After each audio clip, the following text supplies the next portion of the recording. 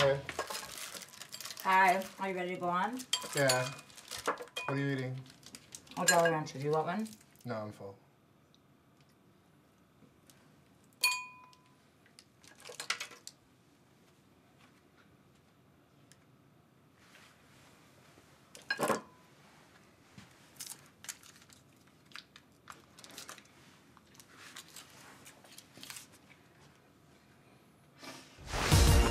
Guy Branum.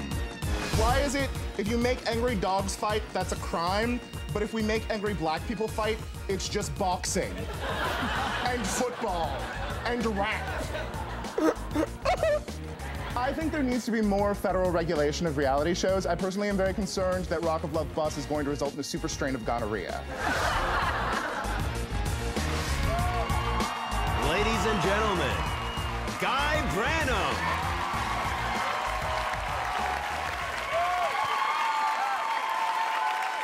Oh, hello, audience. How are you? Good to see you, audience. Good to see you. Audience, my name is Guy. Guy is barely a name. The only way my parents could have exerted less effort in naming me would be if they had called me Hey Dude. Or that one baby who lives here. Do you understand my point, audience? My point is that all of my life I wanted a nickname. I never had one until college. In college, they called me the futon because I was so good at making sex awkward and uncomfortable.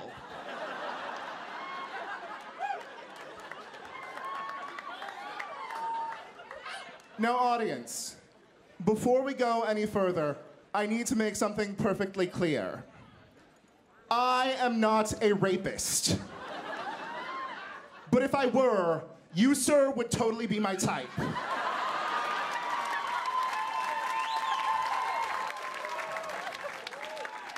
Because let's be honest, you're not the cutest guy in the room. But you do look physically weak. And if I were to attempt to rape someone, I wouldn't want them to fight back. I couldn't take the rejection. If you resisted, I would just end up in the corner crying about how no man will ever love me.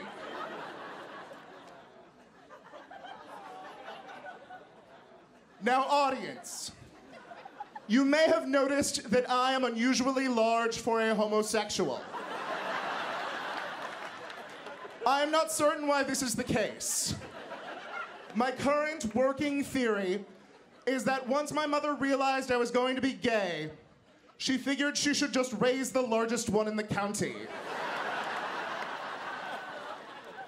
If she's not getting grandchildren out of the deal, she might as well get a blue ribbon.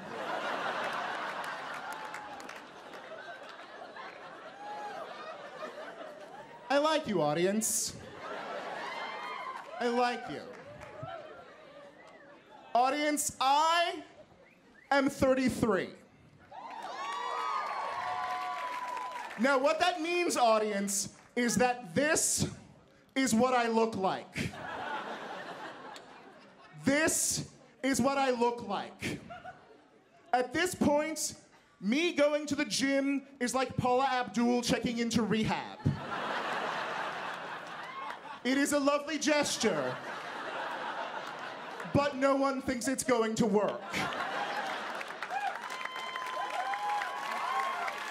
Audience, last week I took a quiz in Teen People to determine which guy from Twilight is right for me. Now, audience, I am 33, okay? This is not my first quiz in Teen People. I know how these things work, okay? I'm gaming the system. Kellen Lutz, the tall blonde vampire, is the right guy for me. I've seen the shirtless jogging photos in Us Weekly, okay? So I take the quiz, score it. Turns out, Taylor Lautner, the Indian werewolf, is the guy for me. Don't cheer. Do you understand what this means? What if I don't know who I am? What if I don't know what I want out of life? Am I a comic? Am I a writer? The longest relationship I was ever in was with a guy who played World of Warcraft professionally. I went to law school. What if I don't know what I want out of life and there's no teen people quiz to tell me?